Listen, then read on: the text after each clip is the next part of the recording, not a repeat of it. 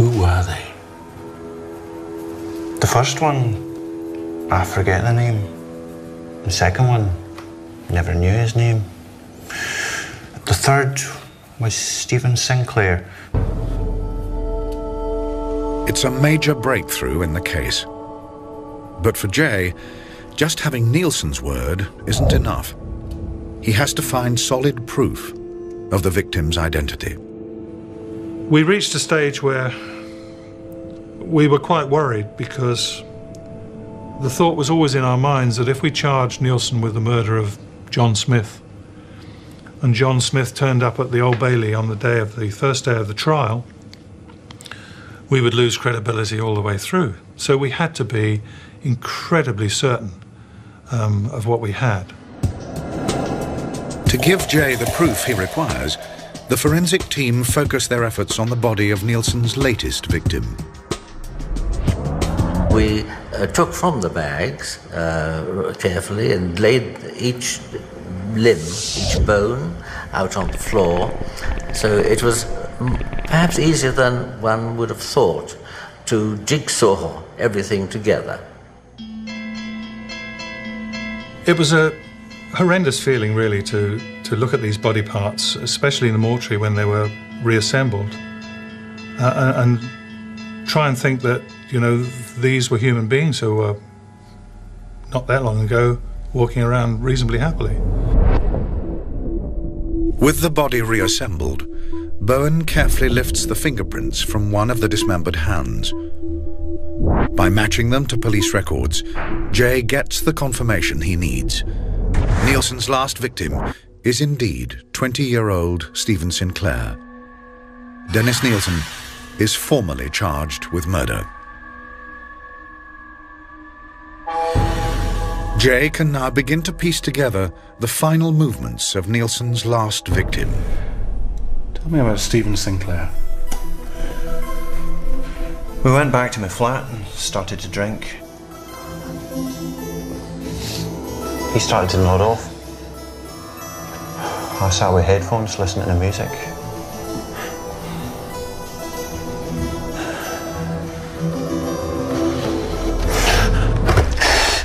Remember power, many different images. I knew that I must have killed him The combination of drink and music drives me to tears. How about you?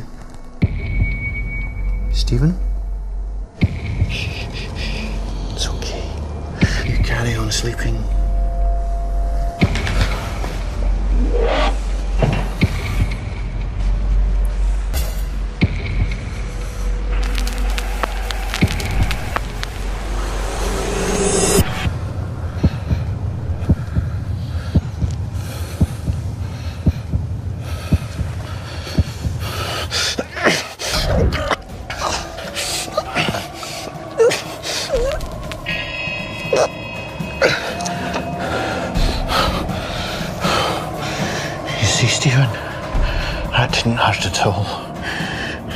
Nobody can touch you now.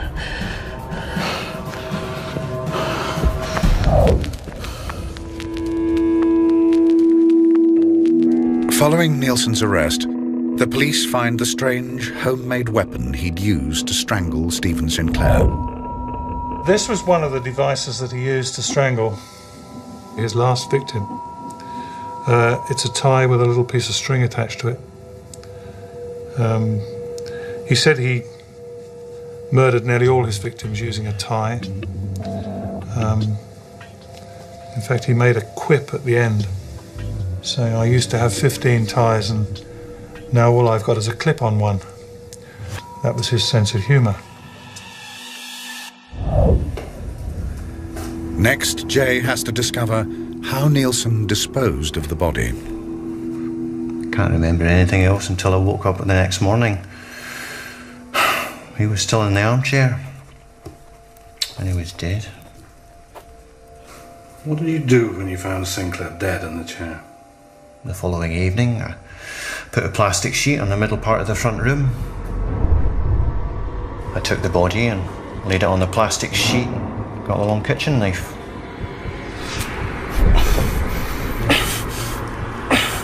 There's a fair flow of blood. some of it overspilled onto the carpet.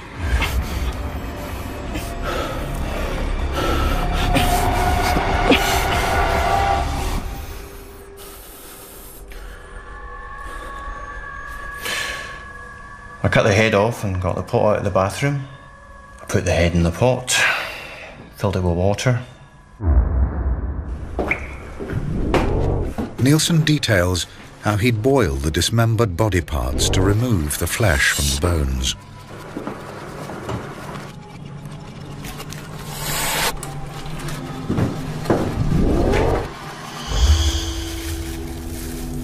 Nilsen later goes on to recall how he set about systematically flushing the boiled remains down the toilet.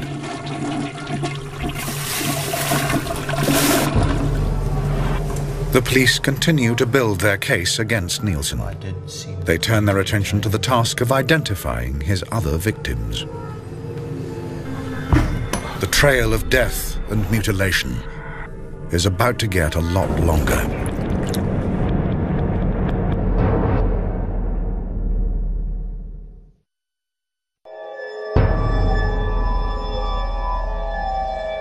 The quest to identify Dennis Nilsen's victims is only just beginning. The police have managed to name his last victim as Stephen Sinclair.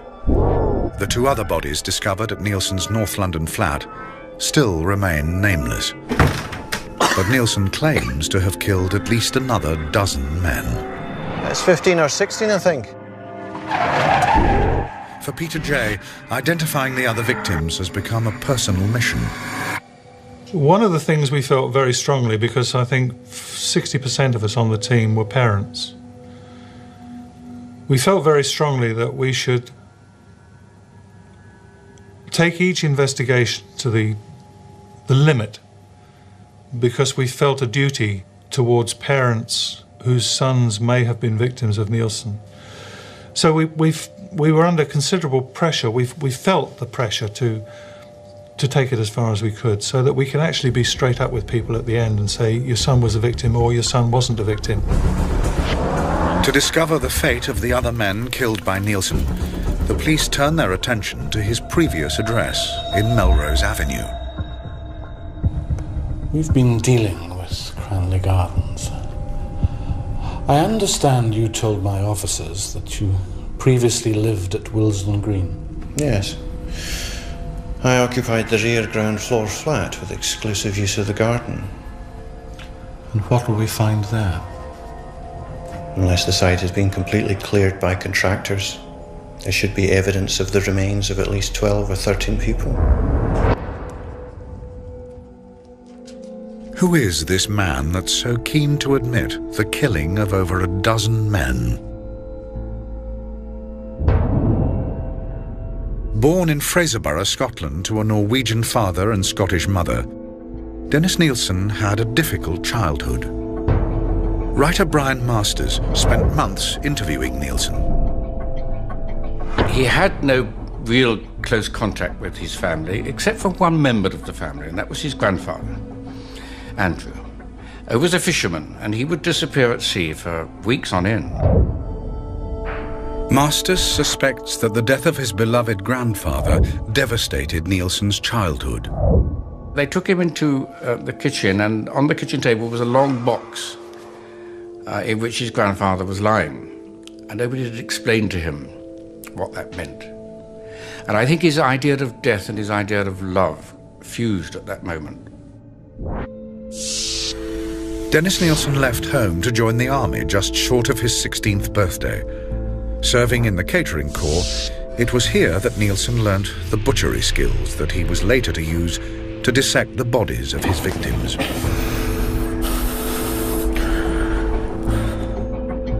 After 11 years' service, Nilsen joined the Metropolitan Police. But after only 11 months, he left the force, claiming his increasingly promiscuous homosexual lifestyle was the reason for his departure. Ex-boyfriend Martin Hunter Craig recalls his time with Nilsen with mixed feelings. I found Des very easy to get on with when he hadn't been drinking. Um, he was quite sensible but and friendly kind of guy, like a, a bit like an older brother. But whenever he he did drink, he would be completely, what's I don't know what the word is, but sometimes obnoxious. He was just downright crude, and I didn't like it at all. Nilsen's last job before his arrest was an executive officer at a job centre in North London. To try and work out how a seemingly respectable civil servant transformed into one of the most prolific serial killers in British history, Peter Jay asks Nilsen about the first time he killed. Nilsen recalls how it all started one New Year's Eve in 1978. After a heavy drinking session, Nilsen returns to his flat with a young man.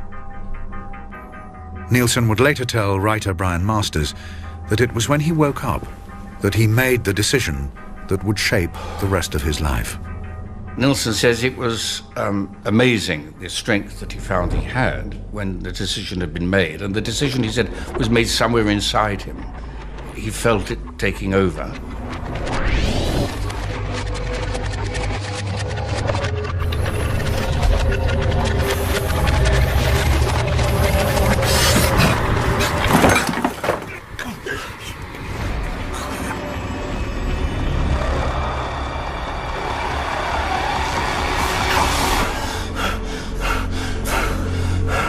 Although Nilsen is able to recall how he'd killed his first nameless victim, to Jay's frustration, Nilsen could never say why he killed. We looked at everything you can possibly think of to try and find out why this was happening because we were frustrated. You always had a motive in a murder. Always. But not with this one.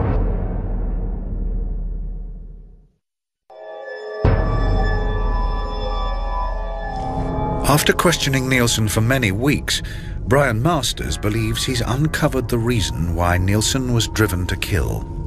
Once it had happened, he felt tremendous solace, and I think he used the word, which is shocking, benevolence.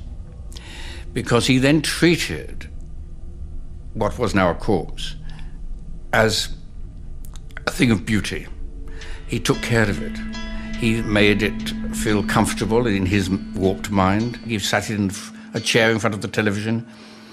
He'd come home from work and find the body still sitting there, and he'd have a chat with it. Guess what happened to me today? So this was a surrogate companion for him. He liked death to be in proximity. He liked the company of corpses. Nilsen admits to hiding his twisted secret from visitors under the floorboards. I believe now that there were there was there was a couple of people on the floorboards, but um, people have said to me that you've lived with this guy on and off for so long, and yet why didn't you you know luck here or luck there?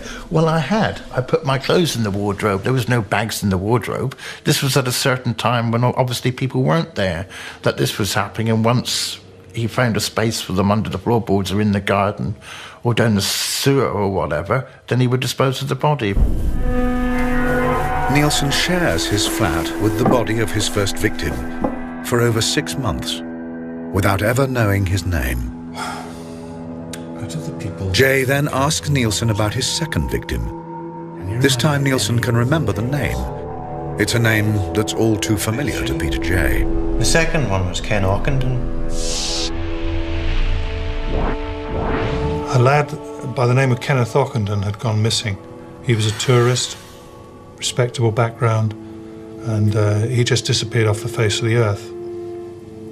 You know, we're just utterly amazed that here suddenly now, five years on, we've got the fellow who murdered Kenneth Ockenden that they spent so much time trying to find.